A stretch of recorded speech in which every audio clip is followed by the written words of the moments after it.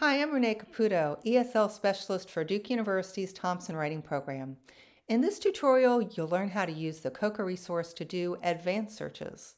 We'll start with a simple search and then build on that.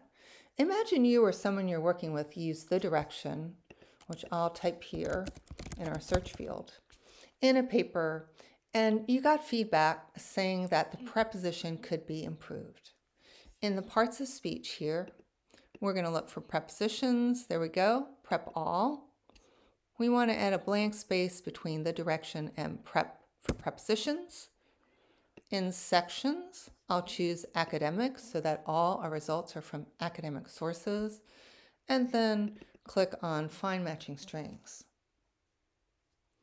So here we have prepositions that are used after the direction in COCA. At the top are the most frequent combinations of plus the direction in COCA, over 2200, and the frequency goes down.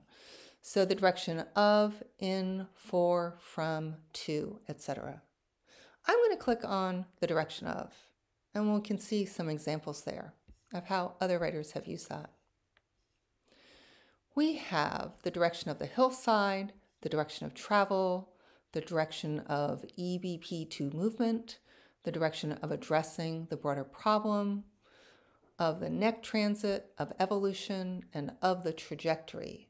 So you can look at the language before, after, or both of those highlighted words and see if you notice any language patterns. What I'm noticing is that after the direction of, we have an article plus a noun, the plus a noun. We have of a noun, or we have of plus an adjective and a noun. If you read more examples, you might find more patterns. And let's go back to search. Let's now imagine that you're wondering what prepositions could use, be used before the direction. So we just move prep to the left of the search field, add a blank space, prep blank space the direction, and again click on Find Matching Strings. We have here in our results in the direction, under the direction, to, of, on the direction as our top examples of prepositions used to the left of the direction by academic writers in the COCA resource. I'm going to click on in the direction. And again, here you can decide, would you like to explore the language before or after the highlighted words?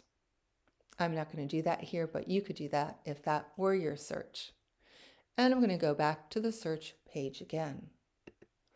So let's imagine after having looked at examples for prepositions after and prepositions before, that you decided that in the direction of fit your paper, we don't need any more prepositions now. And that before in, you wanted some word that ends in ed. And the way you can do that in the search is asterisk ed. So let's try this search now. Asterisk ed in the direction of find matching strings. And so now we have the results in COCA for academic sources moved in the direction of, changed, biased, pointed, etc. in the direction of. So that's quite an advanced search. COCA can help you with preposition before and after and with a word ending that might you might want to use in your writing. We're going to try one last search that's quite different. And I'm going to type here the equal sign and big, a blank space, and the word majority. Okay, equals big, blank space, majority. What does that mean? We're looking for a word that has the same meaning as big and that goes with a word majority. So let's find matching strings. So here are results. Vast majority is the most frequent. Great, large, substantial, significant majority are the next most frequent results in the COCA resource. And let's go back to the search page so you can see once again how I set up that search.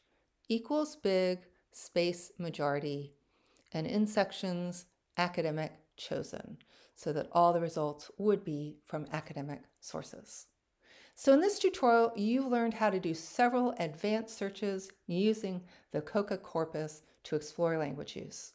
I hope you have fun doing some searches and exploring COCA.